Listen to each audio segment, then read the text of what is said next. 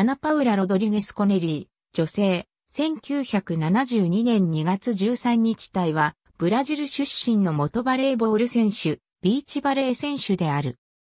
アナパウラは1994年に元バスケットボール選手のジェフ・ティコネリーと結婚したが、後にバレーボール指導者のマルカス・ミランダと結婚。さらに離婚後の2010年には元ビーチバレーボール選手のカール・ヘンケルと結婚した。ミナスジェライス州ラブラス出身。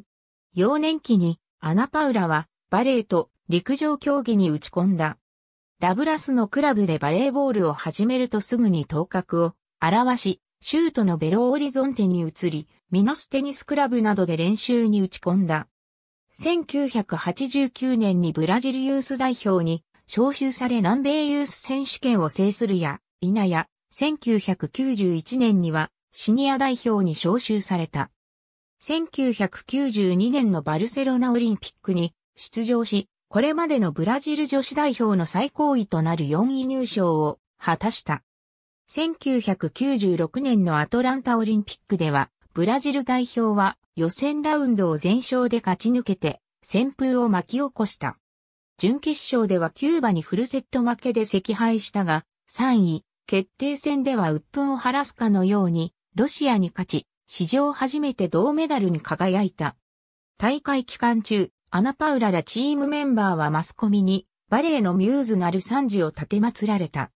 1999年にビーチバレーに専念し、2年後にはブラジルバンクサーキットのベストプレイヤーに選出された。2001年シーズンを産休した後の2003年にはサンドラ・ピレスとペアを組み、ワールドツアー年間王者に輝いた。自身オリンピック2つ目のメダル獲得を目指して臨んだ2004年のアテネオリンピックでアナパウラ・ピレス組は準々決勝で同胞のベアール、ベデ組に苦杯を喫し、表彰台の夢はついえた。